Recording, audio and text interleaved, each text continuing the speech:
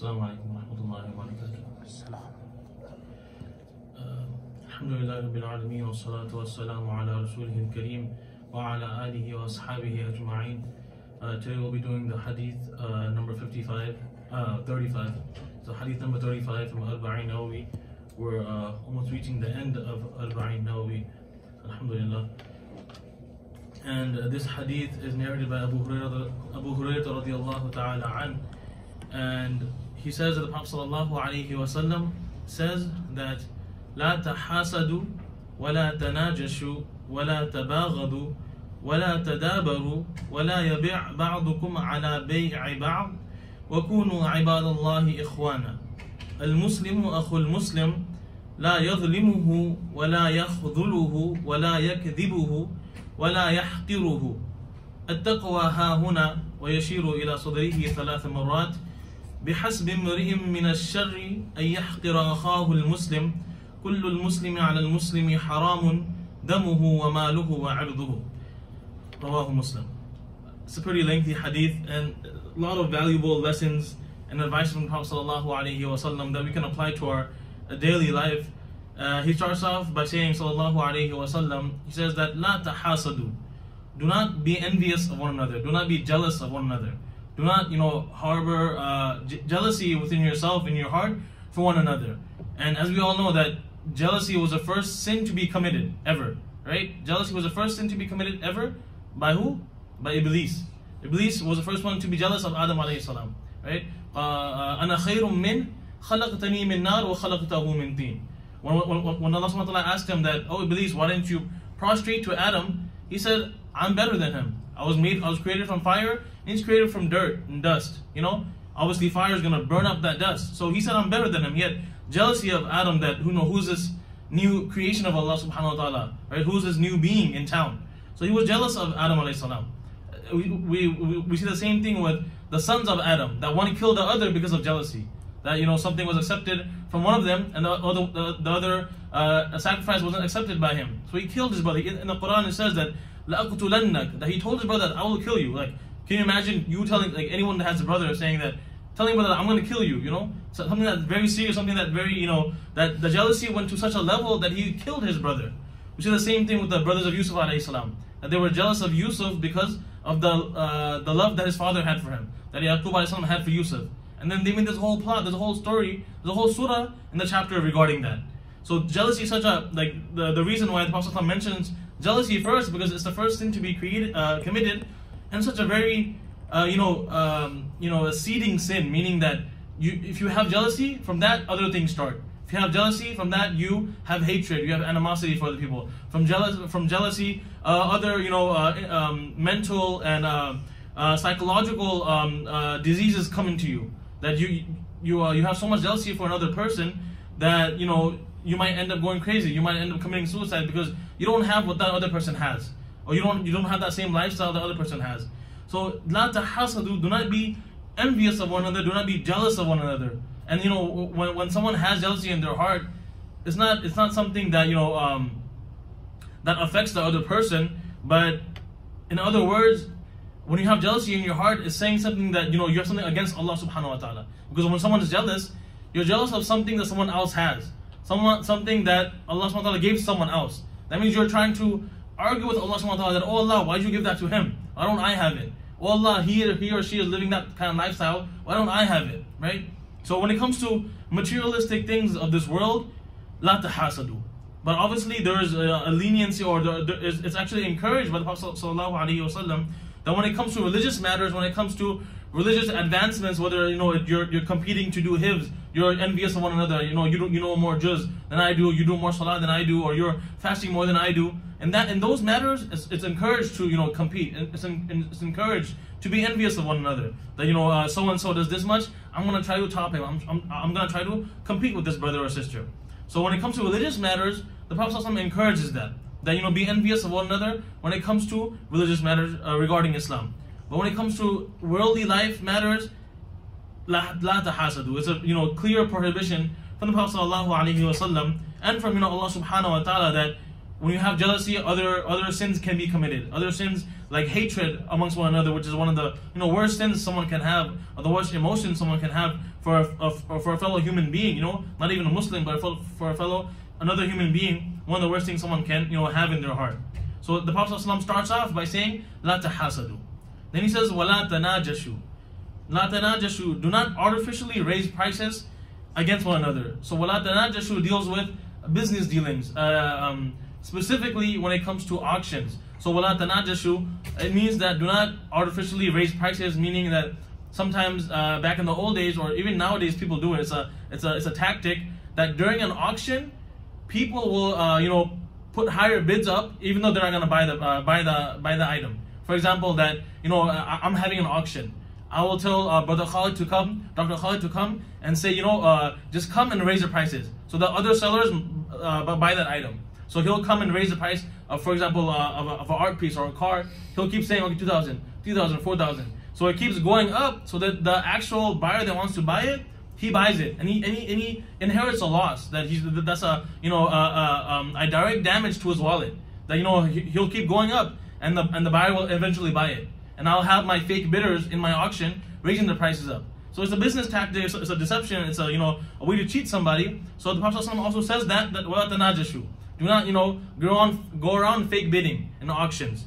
Obviously, the um, the just the general idea of auction is permissible in Islam, but having fake bidders in your auction to raise the price so that people buy it at the you know the, the highest price and that, that you know results in an ultimate loss for them, then that is something that's prohibited as well. So wala tanajish, uh, najash literally means to like to hide or like to to uh, you know hide oneself. So you're hiding someone in a group of people that are auctioning to buy something and you're raising the prices. So the Prophet prohibits that as well. وَلَا تَنَاجَشُوا Do not artificially raise prices. وَلَا تَبَاغَضُوا And do not hate one another. So one of the, you know, one, one of the, the, the, the worst emotions someone can have for someone else, to, to hate somebody, you know, like Islam, you know, completely condemns that, that can't hate someone else. Yes, if you do something wrong, I can hate your action, I can dislike your, you know, your sin that you commit or something, and I can, you know, uh, uh, like we did last week, the previous hadith that man ra'a minkum munkaran falyughayyirhu biyadihi fa illam yastati fa bilisanihi fa illam wa al-iman that if you see someone doing something wrong, you should try to stop them, whether it's with your hand, whether it's with your tongue, whether you say something, whether it's just feeling it in your heart. So I might I might dislike someone's act or you might dislike someone's act, but you cannot hate that person. At the end of the day, he's a human being. At the end of the day, he'll make mistakes or she'll make mistakes. So you cannot hate anybody. وَلَا تَبَاغَضُوا Do not hate one another. So the opposite is that we have to love one another, right? The Prophet ﷺ says that لا تدخلون الجنة لا تدخلون الجنة حتى تؤمنوا that you will not enter paradise until you believe, until you have iman. وَلَا تُؤْمِنُوا حَتَّى تَحَابُّوا And you cannot have iman if you hate, eh, if you do not love one another, right? Until you love one another. So you can't have iman. So basically, you can't be called a Muslim if you don't love one another. If you hate someone, if you have the feeling of hatred for someone else, that means you're not a perfect Muslim. You're not a good Muslim, right? So you cannot believe in Allah subhanahu wa ta'ala. You cannot have full conviction and full iman until you love one another for the sake of Allah subhanahu wa ta'ala. Right? Do not, do not hold hatred for one another.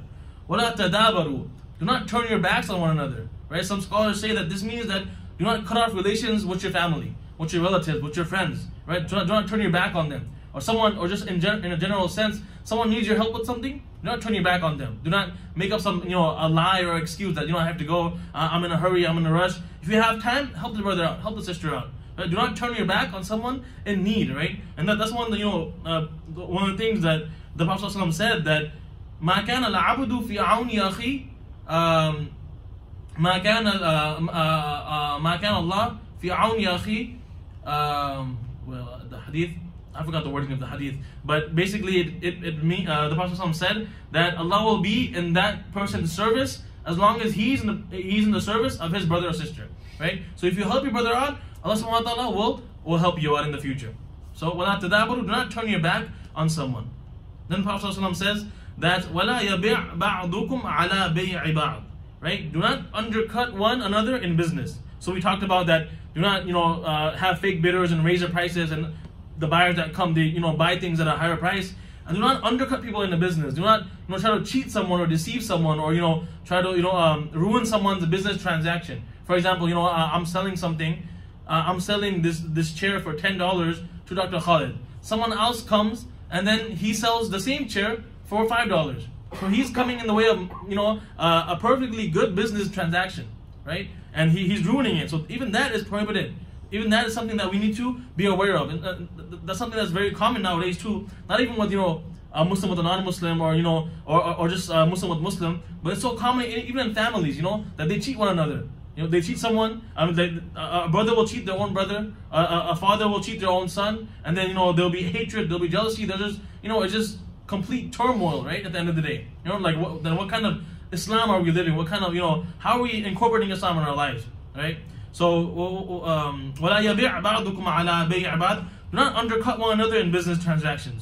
So th- this is also something that you know very highlighted here that Islam also respects business transactions. Islam also, you know, there's also an Islamic way to go about when you when you're buying something, when you're selling something, when you're you know putting something on on an auction, when you're when you're you know uh, when it comes to buying a house, buying cars, loans, interest. Islam, you know, really highlights that fact as well.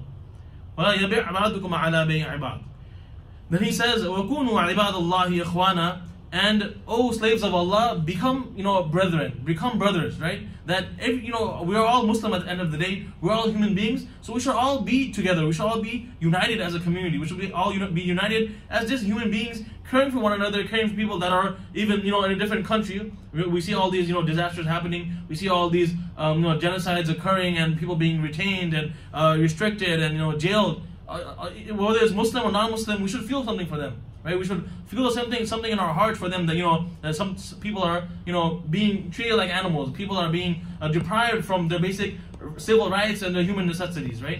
We also want to protect all the people around the world, inshallah. I mean, uh, the Prophet ﷺ then says that al Muslim wa akhul Muslim, that a brother, a Muslim brother or sister, is a brother to a Muslim brother or sister, right? So we are all brothers and sisters, right? Even as human beings, as Muslims as well. And then he says, La yadlimuhu that you should not harm a Muslim, that you should not uh, uh um, uh, oppress a Muslim. Should, there should be no type of dhulm. We, we, we, did a hadith earlier about a dhulm as well, that dhulm is even haram upon Allah subhanahu wa ta'ala. So if it's haram upon Allah subhanahu wa ta'ala, who is our creator, who is our God, obviously if we do dhulm, it's, it's, it's, you know, it's, it's, more than haram for us. Something that's, you know, absolutely unacceptable. لا يظلمه ولا يخذله and do not um, لا يخذله and do not fail him. Do not leave him hanging. You know, someone needs something, you, you don't leave him on read or you don't leave him hanging. Someone sends you a text message and you reply back a week later. Do not, you know, someone needs something from you, someone needs your help, he's reaching out to you for help or she's reaching out to you for help because they know that they trust you. They, they you know, that you're like an amana to them. So now, now you have to fulfill that right as a Muslim brother or a Muslim sister and reply to the message. You know, uh, you know, um, be in service to them. La yakhduluhu, do not, do not just fail him or leave them and you know let them be and then you see them two, two, three weeks later, and then you know you, act like nothing happened. You know things like that. You know, like even a small thing. Sometimes you know uh, we interpret hadith to be mean something very you know high, or we, we set a high standard for a hadith. But even the smallest things, you know, whether it's parking your car outside in, in the correct manner, whether it's you know just replying to a text, those are all you know rights of another Muslim, rights of another human being. Do not fail him. وَلَا يَكْذِبُهُ Not lie to him. We already, we already know about the sin of lying and how that just even, you know, you know distances uh, someone from someone else. That it destroys relationships. That, you know, you, you can take the example of a, you know, a husband and a wife. They lie to each other. There's no trust anymore. There's no, you know, there's no honesty. There's no, there's no sincerity anymore. So same thing with even just random people, me and you, you and I, uh, people in, in the grocery store. You know, just don't lie in general. وَلَا يَكْذِبُهُ وَلَا يَحْقِرُهُ And do not belittle anyone. do not, you know, do not have contempt for anyone. That do not think that no one is uh, not, not important, right? Whether it's a, you know, the person next to you, whether it's your neighbor, whether it's a family member, make sure you are giving enough attention to every single person, right? Don't, don't you know, just because someone, you know, sometimes we see, um, you know, um, a, a common disease that we have is that if someone has, you know, wealth or someone status, we're more nicer to them and someone that, that doesn't have anything, we, we treat them like trash. You know, we don't care about them. We don't, you know, we don't like them. We don't worry about them. But that's not how Islam works. That every single person is equal. So we should care about the same person that, you know, whoever is a king or whoever is a, a president or a CEO, same thing as, you know, we should have the same care for that person just as the janitor of that company or just as a, a normal, average, regular human being, right? Because those are the actual ones that are accepted by Allah subhanahu wa ta'ala. Those average people that we see, like, you know, lurking in the shadows, those are the ones that Allah subhanahu wa ta'ala has, you know, are, are the most closest to Allah subhanahu wa ta'ala at times. And then the Prophet says, pointing at his chest three times, he says, At-taqwa hahuna. He pointed at it, he pointed at his chest and he said, At-taqwa hahuna, that taqwa is here, piety is right here in your heart. That, you know, uh, there's so many actions in Islam that, you know, allow us to, you know, uh, portray our characteristics, you know, uh, in a physical sense. Meaning that, you know, uh, you know, I can come to the masjid with the, you know, the most, uh, the beautifulest uh, thobe and, you know, the, the, perfect turban. I might look like, you know, a big wali of Allah, a big friend of Allah, but, you know, taqwa in reality is inside your heart. That, you know, you could be coming here as, you know, just dressed in normal clothing, and but you could be the closest to Allah subhanahu wa ta'ala from everyone in, inside this room, right? So at-taqwa hahuna, the taqwa is literally inside of your heart. That Allah subhanahu wa ta'ala, He says in the Quran that, Ya ayyuhan nas, um, inna khalaqnakum min dhakar wa untha. That, oh people, I have created you, uh, man and uh, male and female, uh, um, وَجَعَلْنَاكُمْ شُعُوبًا وَقَبَائِلَ لِتَعَارَفُوا And I have made you guys uh, uh, into nations and tribes لِتَعَارَفُوا so that you may know one another, so that you may mingle and you may, you may know one another.